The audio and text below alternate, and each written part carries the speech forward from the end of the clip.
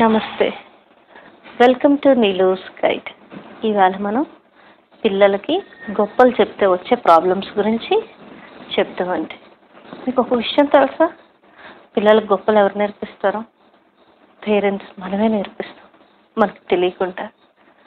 మీరు ఒప్పుకోరు కదా? మీకు ఒక ఎగ్జాంపుల్ చెప్తాను. ఒకటి రెండు ఎగ్జాంపుల్స్ చెప్తాను. ఏంటంటే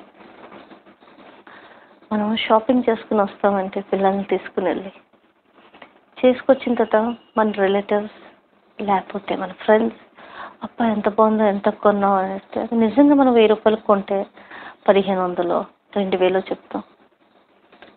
అంటే ఏదైనా కొద్దిగా ఎక్కువ చెప్పడం మనం ఇండైరెక్ట్గా మన పిల్లలకు మనమే నేర్పిస్తాం ఒప్పుకుంటారా ఇంకోటి చెప్తాను మీకు ఎగ్జాంపుల్ మన పిల్లలు యావరేజ్ స్టూడెంట్స్ అనుకోండి ఒక ఫిఫ్టీ పర్సెంట్ వచ్చే పిల్లలు అనుకోండి ఎవరైనా చుట్టాలు వచ్చి మనల్ని అడిగితే సెవెంటీ అలా చెప్తాం.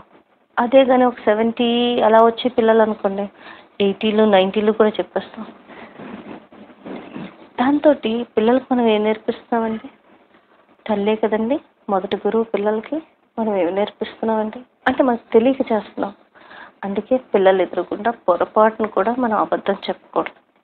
గొప్పలు చెప్తే వచ్చే ప్రాబ్లమ్స్ గురించి ఒక చిన్న నీతి కథ రూపంలో మనం చెప్పొచ్చు. ఇప్పుడు అనగనగా ఒక అడవిలో ఒక సింహరాజు ఉంటాడు. సింహం ఒక మంచి మంత్రిని తయారు చేద్దాం అనుకుంటాడు. అంతలోపల ఆ అడవిలో అందమైన రామచిలుక ఉంటుంది. అది సింహరాజు కళ్ళల్లో పడుతుంది. ఎంత అందంగా ఉందో. ఈ రామచిలుకనే నేను మంత్రిని చేస్తాను అనుకుంటాడు. అందంగా ఉంటే సరిపోతుందండి?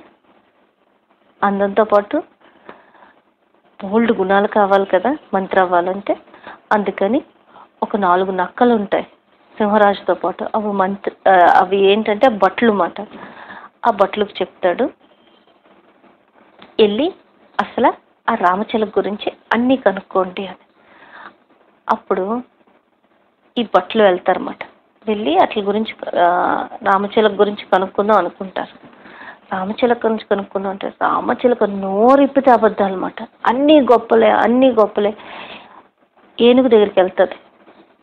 ఈ బట్టలు అలా ఫాలో అవుతూ ఉంటారు రామచిలుకని ఏనుగు దగ్గరికి వెళ్ళి చెప్తుంది ఈవేళ నేను సింహరాజుతో కూర్చుని భోంచేశాను ఎంత బాగుందో భోజనం అని చెప్తుంది.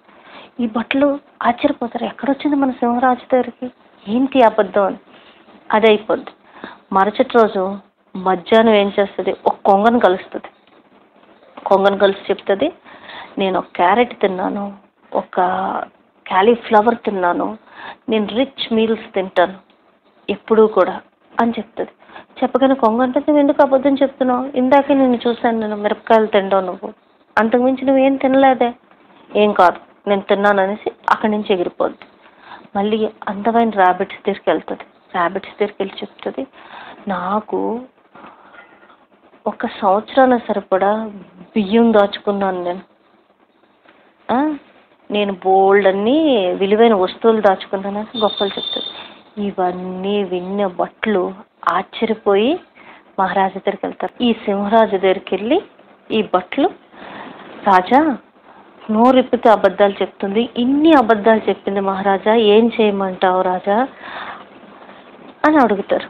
అని అడగగానే వెంటనే మహారాజా అంటాడు తీసుకొచ్చి ఆ రామచిలుకని చెరసాల్లో వెయ్యండి అంటే కేజీలో మాట. కేజీలో పెట్టండి. ఎప్పుడు వరకు నిజం చెప్పదో అప్పుడు వరకు దాన్ని కేజీలో పెట్టి ఉంచండి అని. అర్థమైందండి?